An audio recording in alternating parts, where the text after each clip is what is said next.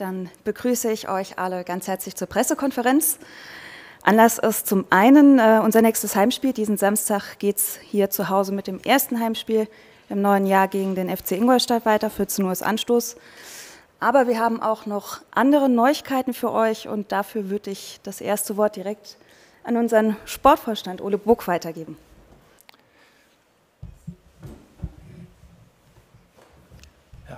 Vielen Dank, Christina, und hallo in die Runde. Ich möchte die Gelegenheit heute nutzen, um eine wichtige Weichenstellung für unseren Verein und für die Zukunft des Vereins bekannt zu geben. Ich freue mich sehr, dass es uns gelungen ist, äh, den Vertrag mit unserem Cheftrainer Horst Steffen langfristig bis 2026 zu verlängern.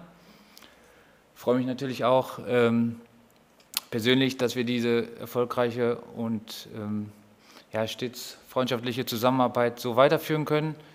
Ähm, ich bin überzeugt davon, dass es der nächste Meilenstein auf unserem Weg in Richtung Kontinuität ist ähm, und sehe unseren sportlichen Weg einfach noch nicht am Ende. Und offensichtlich ist es auch so, dass, dass unser Cheftrainer diesen Weg auch noch nicht am Ende sieht. Ich denke, dazu kann er aber hoffentlich später auch noch ein bisschen was sagen. Ja, das ist, äh, ist glaube ich, das Wichtigste.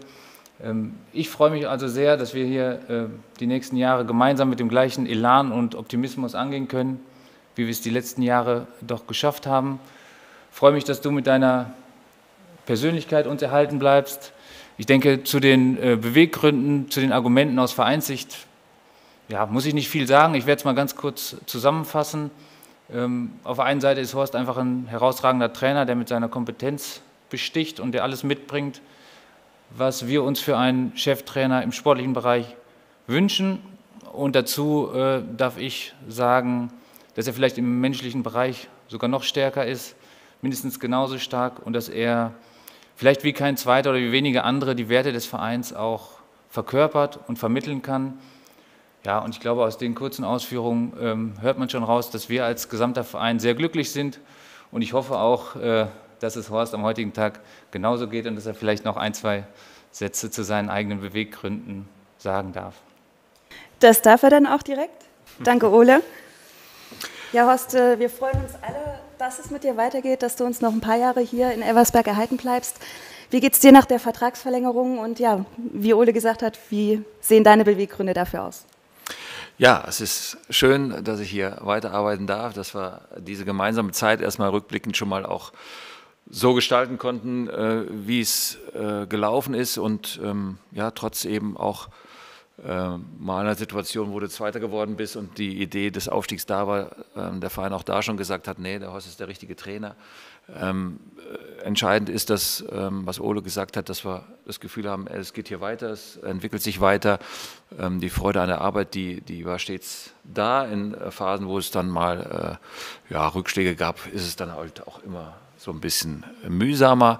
Aber das waren eben ganz, ganz wenige Situationen und ähm, die gehören einfach ins Leben dazu, dass es immer wieder gibt, auch äh, Dinge mal durchzustehen. Und äh, das haben wir gemeinsam getan und sind äh, dann doch aufgestiegen, äh, Gott sei Dank, und, und haben viele schöne Erlebnisse zusammen äh, gehabt. Wir haben einfach ein, ein Umfeld, was, was äh, dafür steht, dass man kontinuierlich gut arbeiten kann, dass wir was entwickeln können. Und ähm, ja, deshalb bin ich sehr, sehr froh, dass äh, der Verein das möchte und äh, wir zusammengekommen sind und das weiterführen, was wir bisher angefangen haben. Äh, das ist äh, noch ein Weg, den wir vor uns haben. Wir wollen jetzt das nächste Spiel gut vorbereiten.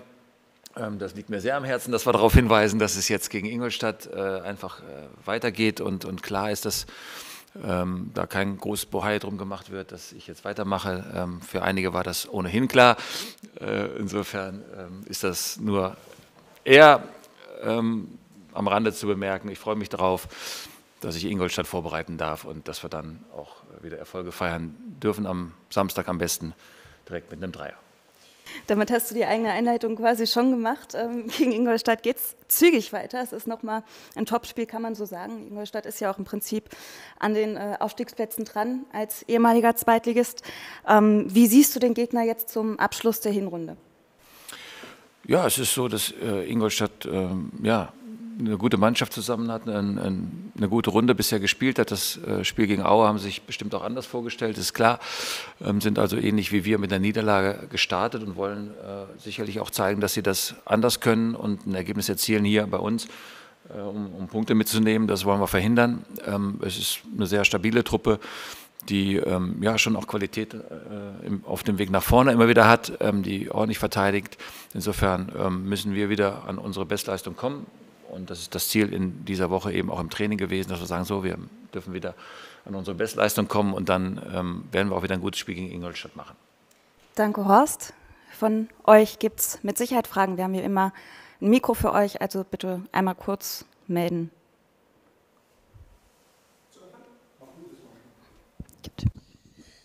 Ich würde trotzdem noch auf das erste zurückkommen, dann nicht auf Ingolstadt.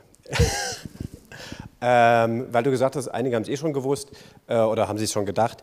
Ähm, tatsächlich, wie schwer einfach nach der Zeit, nach dem Vertrauen, nach den Jahren war es denn, um noch äh, sich zu einigen, das Ganze weitermachen zu lassen? Geht das dann ganz schnell oder war das dann doch schon ein längerer Prozess?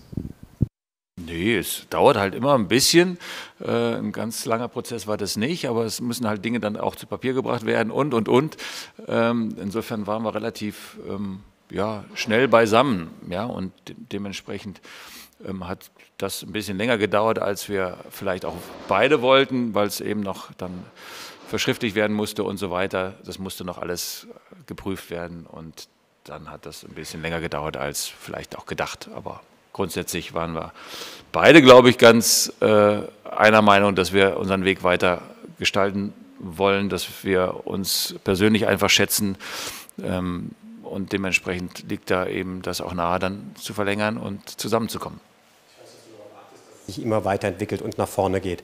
Äh, dementsprechend, was war dir wichtig, um zu sagen, okay, wir gehen in die Verlängerung, abgesehen von dem Sportlichen, was wir alle sehen können? Ja, es ist schon viel das Sportliche, aber wie gesagt, auch, auch die Menschen, die ich hier kennengelernt habe, äh, tragen ihren Teil dazu bei, dass ich das relativ leicht dann sagen kann, hier fühle ich mich wohl, hier möchte ich gerne bleiben. Und ähm, klar haben wir jetzt eine Halbserie gespielt, die einfach auch sehr vielversprechend war und, und wir einfach das Gefühl haben, da geht es voran. Wir haben das Stadion, was sich äh, da auch entwickeln wird und, und äh, Trainingsgelände ist irgendwo angedacht, dass das äh, in naher Zukunft dann irgendwann auch so steht, ähm, dass ich sage, es ist für mich dann eine Freude daran teilzuhaben, wie der Verein auch noch weiter sich entwickelt und wächst. Neben dem, was ich zu verantworten habe, dass der Fußball eben vernünftig läuft, ist es auch schön mitzuerleben, wie ein, wie ein Verein eben ähm, ja auch in der Entwicklung steht. Und äh, das habe ich ja schon seit ein paar Jahren auch begleitet, wo es mal äh, da wieder Fortschritte gab, da wieder Fortschritte gab. Und ähm, klar ist für mich in erster Linie wichtig, dass wir einen Kader zusammen haben, der äh, ja, dafür spricht, dass wir auch gute Leistungen immer wieder aufs Feld bringen. Das ist äh, das Wichtigste.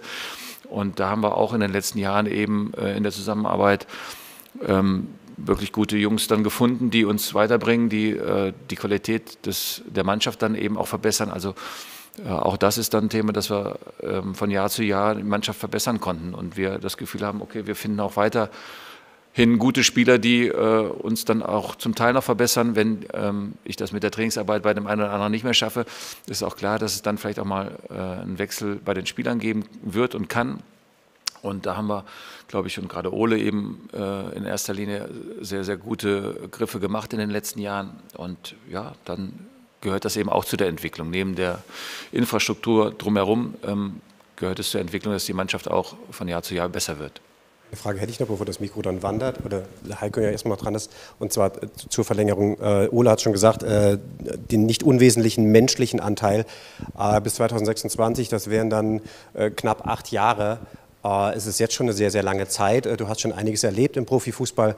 Ähm, ist das für dich auch so was, wo du sagst, also es ist was Besonderes, so lange ein Teil von etwas vielleicht zu sein, es mitzuprägen, weil es einfach nicht selbstverständlich ist. Und du, ich weiß, dass du Dinge zu schätzen weißt, weißt du auch dieses Gut dementsprechend zu schätzen. Wie viel Anteil hat das? Ja, das hat schon auch einen großen Anteil. Also ich weiß, wie das im Fußball normalerweise läuft. Ja, und das ist eben auch äh, hier nicht normal gelaufen, dass sie ähm, mit mir gearbeitet haben von meiner Qualität eben unabhängig von diesem Zielaufstieg äh, ähm, überzeugt waren und, und dann auch gesagt haben, okay, dann gehen wir halt eine weitere Saison mit dem Trainer äh, in die Regionalliga und dann schafft das halt im nächsten Jahr mit den Jungs hochzugehen. Das, ähm, das findet man nicht so oft. Dann wird äh, schon auch äh, im Vorstand entschieden, ja, das ist ja schön, dass er äh, einen tollen Punkteschnitt hat, äh, tolle Erfolge im Pokal gefeiert hat, aber ist halt Zweiter geworden, ja, und dann gibt es halt nicht die Möglichkeit weiterzuarbeiten. Und ich starte eigentlich in jedem Club, ähm, um einfach langfristig zu arbeiten. Ja, die Erfahrung äh, zeigt bei den anderen, dass es oft nicht gelingt, aber ich gehe nicht äh, in einen Verein rein, wenn ich neu komme und sage, ja, gucken wir mal, wie das nächste halbe Jahr wird oder ein Dreivierteljahr und ein Jahr, sondern eigentlich bin ich dann voll und ganz Trainer dieses Clubs und meist entscheiden dann andere, ob das weitergeht oder nicht. Ne, das war äh, selten so, dass ich eine Idee hatte, okay, ich bin hier am Ende, jetzt beende ich meinen Vertrag und gehe woanders hin. Das habe ich nicht gemacht bisher, ähm, auch wenn es vielleicht mal Möglichkeiten gab. Ähm, ich bin auch derjenige, der das zu schätzen weiß, wenn äh, anständige Menschen um mich herum sind, die anständige Entscheidungen treffen. Ja, und am Ende will ich genauso erfolgreich sein wie jeder Verantwortliche hier im Club. Ähm, das äh, heißt eben auch, dass wir uns nicht nur menschlich dann gut verstehen müssen, was, ähm, finde ich, zu einer Leistungssteigerung auch immer wieder führt, wenn das, wenn das da ist es zählt der sportliche Erfolg und den hatten wir ja zuletzt und wie gesagt äh, in, im letzten halben Jahr eben auch sehr äh, tolle Spiele hier geliefert. Ich finde auch, dass unsere Fans ähm, einen Teil dazu beigetragen haben. Die Resonanz in den letzten Wochen, ähm, die war einfach auch bemerkenswert. Ähm, die Anerkennung, die ich persönlich dann auch erfahren habe von, von unseren Fans, äh, tut mir natürlich auch gut und fühlt sich gut an. Insofern ähm, wie gesagt, diese Entscheidung war dann äh, relativ klar, auch dass, okay, da kommen wir schon auch irgendwie zusammen. Ja, ich bin jetzt keiner, der immer sagt, oh, wir müssen das ganz schnell machen. Ähm, es ist eine Sache, die ähm, einfach dann auch ein Stück weit Zeit braucht. Der Verein äh, ist auf mich zugekommen und dann haben wir die Gespräche aufgenommen und haben es gemacht. Und dementsprechend weiß ich das zu schätzen, wo ich hier bin und mit welchen Menschen ich zu tun habe. Dann willst du erst Heiko geben oder willst du zuerst? Natürlich, was sonst?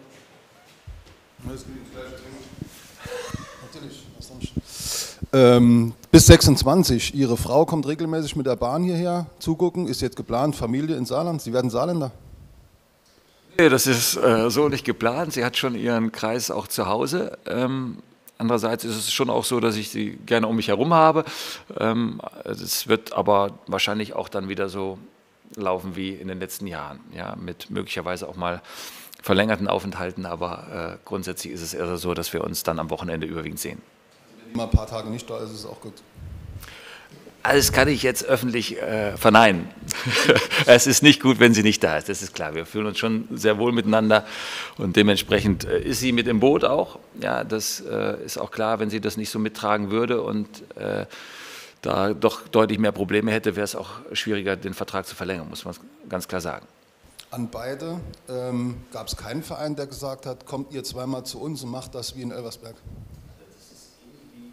In der Vergangenheit zu einer Vertragsverlängerung ge gesagt habe, zu diesem Thema sage ich einfach nichts. Das geht jetzt noch drei Jahre so weiter? Das geht so weiter. Okay. Ole, bei dir das Gleiche oder dann kann man das Mikro gerade stehen lassen? Ich sagen, solange das Mikro nicht da ist, kannst du drüber sprechen. Mindestens drei Jahre geht das noch so weiter. Okay. Ähm, aber trotzdem, wir reden ja oft drüber, wenn das Ding in der 90. reingeht, äh, reden wir nicht mehr über vorne dran das, sondern ähm, dann steht das Ergebnis und alles ist toll. Ähm, wenn Eros Datsai in Balingen das Ding nicht reinmacht und ihr dagegen Stuttgart das Ding nicht dreht, heißt nachher wieder, okay, Steffen packt es auch nicht in die dritte Liga und dann wäre vielleicht jetzt hier ein anderer. Ja. Wie realistisch ist sowas, das einzuschätzen, dass es auch anders laufen kann? Ja, du darfst. Ich hatte schon Luft geholt, aber ich bin auch. Nee, das ist, ja, es ist, es ist ja relativ leicht zu beantworten. Ich, äh, natürlich ist es uns bewusst, dass es in jeder Saison ein paar Schlüsselmomente und Schlüsselerlebnisse gibt. Und das war mit Sicherheit einer, der uns zum Aufstieg geführt hat. Ich glaube schon, dass die letzten Jahre dann auch gezeigt haben, dass der zweite Teil der Frage auch klar zu beantworten ist. Ähm, dann würde auch kein anderer Trainer hier sitzen, dann wäre die Entscheidung auch nicht anders ausgefallen. Ähm, natürlich erwarten wir auch eine gute Leistung der Mannschaft und eine gute Entwicklung. Das ist ganz klar. Also es geht jetzt nicht nur um, um Sympathie, die zweifellos vorhanden ist, aber darauf begründen wir nicht unsere Entscheidung. Aber wenn eine Mannschaft guten Fußball spielt, wenn ein Trainer mit den Jungs ganz klar umgeht und auch konsequent umgeht und einen sauberen Umgang pflegt, äh, dann gibt es für uns einfach keinen Grund daran, was zu verändern, sondern hätten wir einen neuen Anlauf genommen und hätten versucht, uns nochmal vom Kader zu verbessern und dann mit dem gleichen Trainer in diesem Jahr den Aufstieg zu schaffen. Aber es gab ja trotzdem, vor zwei Jahren war das, glaube ich, wo es dann plötzlich hieß, die ist zu brav, die Mannschaft. Wir haben keinen, der mal richtig dran geht und äh, wir brauchen da vielleicht irgend so einen, der vielleicht ein bisschen härter einsteigt. Und plötzlich spielt die Mannschaft ein halbes Jahr lang genau so, wie man das vorgestellt hat. Man brauchte das alles nicht. Also irgendwie zu erklären ist dann doch nicht alles.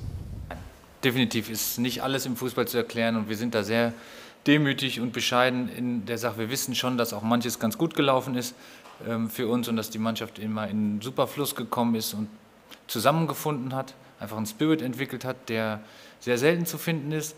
Also es ist nicht selbstverständlich, dass wir, wenn wir alles immer genauso nochmal machen würden, dass es auch genau das gleiche Ergebnis gibt, äh, wo wir jetzt gerade stehen. Das ist uns schon bewusst. Ähm, aber ich bin mir zu 100 Prozent sicher, dass es auch ein sehr gutes Ergebnis gegeben hätte. Dann die Erklärung noch von Horst Steffen.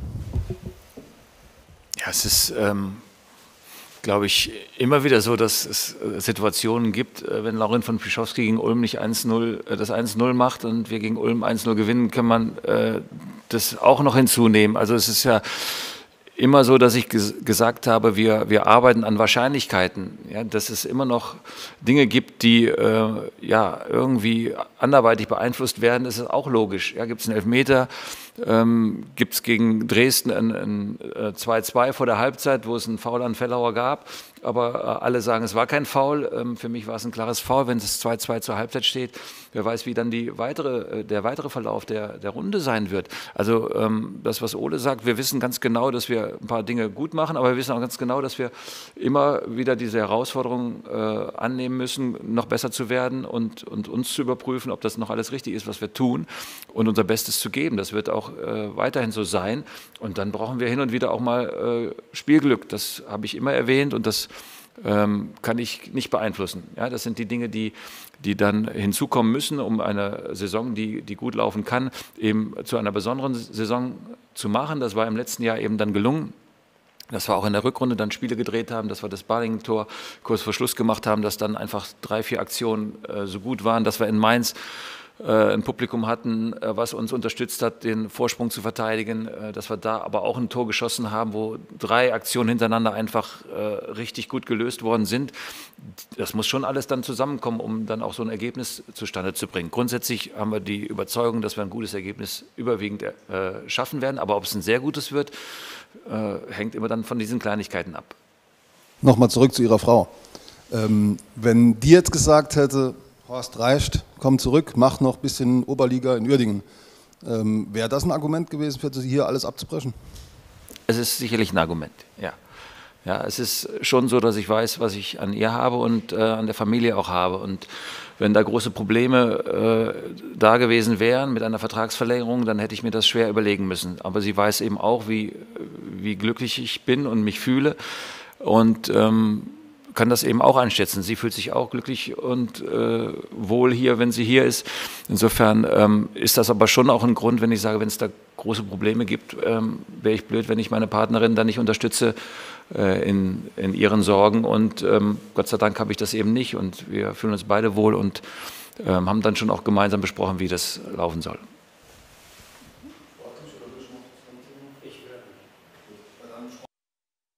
Gibt es den gleichen Kader wie ähm, letzte Woche. Keiner der Verletzten äh, zurückgekommen. Äh, Robin Fellauer ist jetzt soweit teil äh, integriert im Training, dass äh, das schon mal äh, vielversprechend aussieht, aber eben erst seit gestern und dementsprechend ähm, wird das noch keine Option sein für das, für das Wochenende. Und ähm, auch bei Kevin Konrad und Semi Schein sieht es aktuell vom Verlauf her eher ganz gut aus. Jetzt müssen wir abwarten, ähm, wann sie einsteigen können und dann eben auch, wann sie so fit sind, dass sie auch wieder auf den Platz können. Robin Fellauer war der entscheidende Spieler bei Viktoria Köln, wobei die Leistung eigentlich fast ähnlich war wie in Wien. Nur Wien spielt dann, dann halt so, ähm, dass man nicht gewinnt. War das jetzt ein Unterschied vom Gegner oder habt ihr noch Probleme, irgendwie ständig dieses Top-Niveau abzurufen, gerade auswärts? Also ich glaube, dass es äh, möglich ist, dass wir das Top-Niveau auch wieder erreichen. Das ist ähm, aber auch außergewöhnlich oft in der, in der Vorrunde der Fall war. Ähm, Wien Wiesbaden war ein Gegner, der an dem Tag eben auch schon uns äh, mehr abverlangt hat als, glaube ich, damals noch Viktoria Köln. Ähm, nichtsdestotrotz hätten wir in der zweiten Halbzeit wieder ins Spiel zurückkommen können, auch gegen Wien zurückkommen können.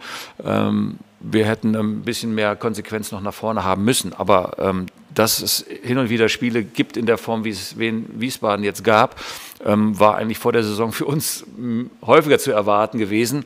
Ich hoffe, dass es jetzt eine Ausnahme sein wird, dass wir nicht ganz so zu unseren Momenten kommen, aber ähm, wir können auch damit rechnen, dass es immer wieder mal vorkommt, ja, dass wir da äh, Gegner haben, die gut sind und uns Probleme machen. Äh, damit ist zu rechnen.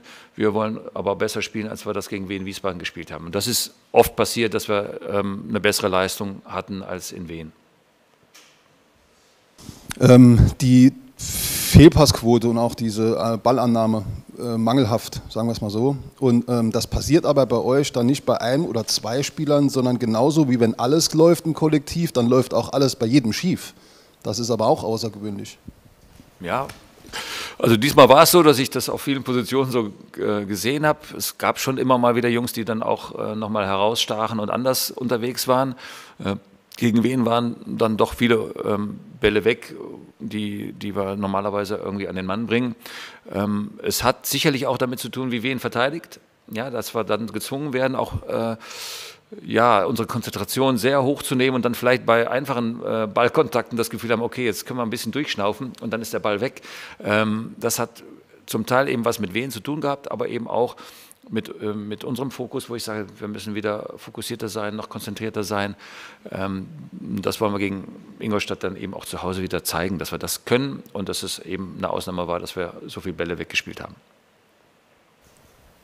Äh, Goppel ist ähm, erste Halbzeit on fire, nur ab und der zweiten Halbzeit, glaube ich, nach 50 Minuten noch einen Lauf und eine andere Mannschaft auf dem Platz bei euch wie vor der Pause. Das war aber nach einer Viertelstunde klar, dass das in die Hose geht, wenn ihr so weiterspielt. Wieso kann man das nicht nach 20 Minuten oder einer Viertelstunde so ändern wie in der Pause? Ja, weil die, die ersten zehn Minuten kann man, kann man, glaube ich, auch da wegnehmen. Also die ersten zehn Minuten war eher mein Gefühl, ach ja, wir kriegen schon unsere Ballbesitzphasen hin, wir kriegen das schon ordentlich hin. Ja, das, der, der eine Angriff, wo See flankt, ähm, war halt mal ein Angriff und da, dazwischen hatten wir relativ viel Ballbesitz. Äh, sodass das Gefühl da war, okay, wir kriegen unsere Angriffe hin. Ähm, das hatten wir in vielen Spielen, dass das dann eben auch noch nicht unbedingt bis ins letzte Drittel kam. Äh, wir hatten in vielen Spielen da die Führung relativ früh. Ähm, in diesem Fall war es halt nicht so. Ja, und dann haben wir einen Ballverlust und kein Gegenpressing und dann gibt es einen langen Ball und steht auf einmal 1-0. Ja, und dann war es so, dass äh, ja, die Abstände ein bisschen größer wurden, ähm, dass das weniger mit der Formation unbedingt zu tun hatte, dass Abstände da waren und der Gegner eben auch eine Qualität hatte, das zu bespielen. Und es war dann noch ein Ball auf Goppel, ähm, wo es eine, eine, Flanke gab, äh, die Nico Antonic normalerweise weg, äh, wegnimmt. Ähm, der rutscht weg. Ja, dadurch kommt eben die Chance von Bretagne zustande. Und ich sage, da kannst du dich nicht darauf vorbereiten. Und ähm, ja, dementsprechend war es so, dass ich sage, das war eigentlich ähm, die ersten 10 Minuten ausgenommen, dann 10, 15 Minuten, die nicht so gut waren. Äh, da kannst du schon überlegen, ist das noch gut, was wir da machen, aber so eine, so eine Umstellung, wo es mehrere Mannschaftsteile betrifft, ist dann eben auch nicht so ganz einfach vorzunehmen, weil wir in 4-3-3 dann hätten spielen wollen, ähm, was wir auch noch nicht gespielt hatten vorher. Und dementsprechend hatten wir dann die Halbzeitpause genutzt, um das zu verändern und nochmal klarzumachen, wie wir dann auch äh, unsere Laufwege haben. Ähm, das war Grund, warum wir nicht frühzeitig das äh, verändert haben. Und manchmal ist es auch nicht die Systematik, die das Problem ist. Ja, wenn dann diese Unkonzentriertheiten dazukommen, dann hast du äh, in jedem System Probleme, das zu verteidigen. Und das war eben eher noch das Thema, dass ich sage, wenn wir so, so Fehlpässe spielen und äh, die Ballkontrolle nicht da ist, wie sie normalerweise bei uns da ist, äh, dann kannst du ein System wählen, wie du willst. Äh, wir müssen uns besser konzentrieren. Und ähm, das war eben auch das Thema, was wir dann ähm, in der ersten Halbzeit eher noch gesehen haben, dass es ähm, nicht unbedingt ähm, Systemfrage ist, dass wir das nicht verteidigt bekommen haben. Haben Sie diese Woche einen Vergleich zu dem neuen Gegner Ingolstadt von einem anderen Gegner, der ähnlich spielt in der Saison? Nein, es ist jetzt für, für mich nochmal die Klarheit auch gewesen, dass wir sagen, wir gucken, dass äh, wir wieder gut sind. Ja, das ist das Erste, worum es geht. Und dann bereiten wir natürlich auch Ingolstadt vor, aber klar muss uns sein, wir müssen an unsere Leistung kommen, unser Leistungsniveau erreichen ähm, und dann können wir den Gegner vorbereiten. Aber das ist so das Gefühl, das wir transportieren wollen, dass wir an unsere Stärke einfach glauben und das auf den Platz bringen. Und dann muss der Gegner das schon sehr gut anstellen, ähm, dass wir da große Probleme kriegen. Und nichtsdestotrotz kann Ingolstadt uns weiter Probleme machen, weil sie gute Spiele haben. Auch. Ole noch eine, dann war es das. Bei der ähm, Leihgabe Nick Woltemate, ist da Bremen auf euch zugekommen oder seid ihr auf Bremen zugekommen? Nee, Bremen wurde zu einem etwas späteren Zeitpunkt in die Überlegung eingeweiht, sagen wir mal so. Also, also zuerst Spieler, dann Bremer. Ja, es war mit Sicherheit von Bremer Seite auch äh, ein Wunsch, den Spieler zu verleihen, weil sie schon nach wie vor eine hohe Qualität und viel Potenzial in ihm sehen. Ähm, zu welchem Verein es dann geht, ähm, ja, das war dann nicht mein erstes Thema, sondern das erste Thema ist dann natürlich auch, äh, den Spieler und den Berater vielleicht von der Idee zu überzeugen, dass es der richtige Schritt hierher wäre. Ähm, beziehungsweise es war in dem Fall gar nicht so schwer, weil ein ähnlicher Fall mit dem gleichen Berater schon mal ganz gut funktioniert hatte äh, von der Entwicklung eines ausgeliehenen Spielers. Ja, und dann muss natürlich Bremen zu späteren Zeitpunkt auch noch mitspielen. Aber es war nicht so, dass Bremen auf uns zugekommen ist und uns gefragt hat. Also, also auch beim Berater war es so, der Weg dann von euch bzw. von dir aus, kannst du dir das vorstellen? Es war in der Vergangenheit schon mal so, dass ich mich nach dem Spieler erkundigt hatte und es da noch keine Möglichkeit gab. Und daran hatte sich der Berater dann zu einem späteren Zeitpunkt erinnert. Dortmund hat zurzeit auch ein Problem mit einem Stürmer. Oder ist das utopisch, dass äh, so ein Spieler dann nach Elversberg kommt? Vielleicht hat er auch den gleichen Berater. Ich, ich glaube, wir sind äh, momentan schon vom Kader sehr gut aufgestellt. Ich habe großes Vertrauen in unsere Jungs. Natürlich überlege ich immer und schaue, wo wir vielleicht noch ein bisschen Potenzial rauskitzeln können und uns noch verstärken können, das ist klar. Äh, aber ich glaube, der Fokus für die Rückrunde sollte ganz klar auf den Spielern sein, die jetzt unter Vertrag stehen. Ich glaube, die haben es sich auch verdient, dass wir ihnen vertrauen. Das heißt nicht, dass, ja, dass ich es komplett ausschließen würde, dass noch ein Spieler dazukommt. Eine Frage an dich, Ole. Äh, aber stellvertretend für euch beide, weil ihr bleibt beide noch länger hier und ihr wollt, dass es vorangeht. Die eine Baustelle, die war dann vielleicht die einfache. Es gibt, muss ganz viele Baustellen hier noch geben. Wie ihr werdet auch gefragt haben, welches Stadion steht euch ab Sommer zur Verfügung, wie ist die Infrastruktur für die Mannschaft, Kabine etc. Was ist so euer Stand, damit ihr auch gesagt habt, okay, den Weg können wir gut mitgehen. Ab wann könnt ihr wo, wann sein? Wie verändert sich das alles? Wie ist so euer Zeitplan ja, am dafür? Ende des Tages gibt es ein großes Commitment des gesamten Vereins und aller Gremien, dass wir uns auch infrastrukturell ganz klar verbessern wollen, dass wir uns den neuen Gegebenheiten einfach anpassen müssen. Wir sind jetzt nun mal in der dritten Liga und ähm, natürlich müssen wir auch Vorsorge treffen für den Fall, äh, dass der Unfall passiert und wir mal in die zweite Liga aufsteigen. Also sollten wir schon auch gucken, dass wir am liebsten bei uns an der Kaiserlinde spielen können. Das ist auch mein persönlicher Wunsch natürlich und ich hoffe, dass es auch so zu realisieren ist. Denn ich glaube, unsere größte Stärke äh, ist immer noch hier zu finden. Also ist der Wunsch ganz klar, in diesem Stadion zu spielen und das am liebsten immer.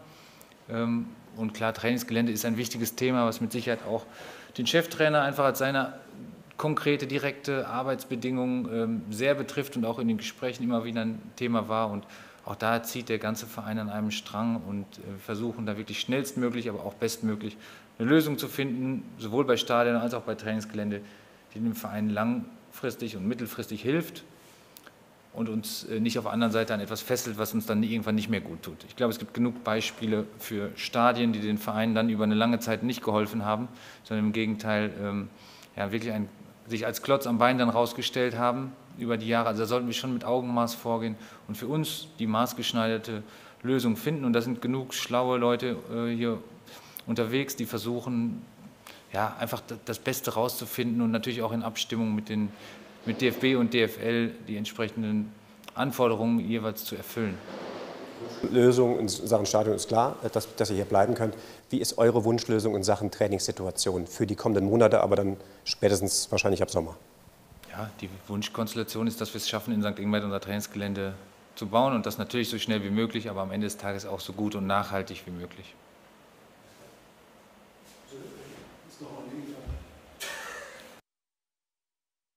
2026 bis Sommer, ne, gehe ich voraus, Juni. Ähm, es läuft alles so nach euren Vorstellungen. Frage an beide. Was, wo seid ihr dann? Also A, in welcher Liga am besten und B, ähm, mit dieser Weiterentwicklung. Also jetzt kommen nicht mit, wir wollen nur Spieler weiterentwickeln, sondern... Ich hoffe, dass wir erstmal noch hier sind. Also wenn du fragst, wo wir sind, ich glaube, ich hoffe, dass wir hier sind und vielleicht sich aber auch einiges im Umfeld getan hat. Also äh, dass das Stadion schon ein bisschen anders aussieht. Ähm, das ist natürlich ein großer Wunsch, äh, auch von mir persönlich, dass ich das noch hier mit im Verein erleben darf. Und auf der anderen Seite hoffe ich einfach, dass wir den Fußball wirklich noch weiterentwickeln, dass wir sagen, wir haben so eine Freude gemeinsam gefunden, die Mannschaft weiterzuentwickeln, tollen Fußball zu spielen und die Leute zu begeistern. Und ich sehe die Entwicklung einfach noch nicht am Ende, auch wenn es schwer wird, da natürlich uns noch zu verstärken und besser zu werden. Aber das ist das, was mich antreibt. Und am Ende des Tages ja, weiß ich natürlich, worauf die, die Frage abzielt, auf eine reine Ligenzugehörigkeit. Ich hoffe, dass wir dann so gut dastehen wie irgendwie möglich und Wahnsinnsfußball spielen und viele Fans zu uns kommen, alle zwei Wochen in ein schönes Stadion. Das wäre mein Wunsch.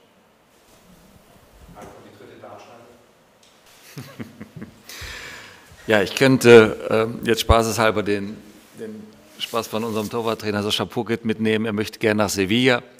Äh, Mache ich jetzt mal. Äh, aber es ist klar, dass das nicht ernst gemeint ist. Wir können alle nicht in die Zukunft schauen. Ja, wir wollen echt eine gute Zeit äh, verlängern, die wir bisher hatten ähm, und, und das bestmögliche Ergebnis rausholen. Und was das sein wird, wissen wir nicht. Ähm, ja, ich freue mich auf die Zeit, aber äh, ihr kennt mich jetzt auch schon lang genug. Äh, was übernächste Woche ist, das weiß ich oft nicht. Insofern äh, interessiert mich das, was wir jetzt vorzubereiten haben. Eben, das ist Ingolstadt und da bin ich dann eben auch heiß drauf, dass wir da einen guten Plan entwickeln und äh, ein gutes Spiel machen.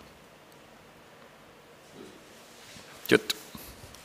Scheinen alle zufrieden zu sein. Dann bedanke ich mich bei euch fürs Kommen. Noch ganz schnell den organisatorischen Hinweis, was äh, die Verkehrslage am Samstag angeht. Wir haben nur die Weidstraße in Elversberg als Einbahnstraße Richtung Heinitz eingerichtet und der Park-and-Ride-Parkplatz in Heinitz ist mit Shuttle-Service, mit kostenlosem Shuttle-Service ebenfalls eingerichtet. Bis dahin wünsche ich euch alles Gute, bleibt gesund. Wir sehen uns am Samstag wieder. Macht's gut.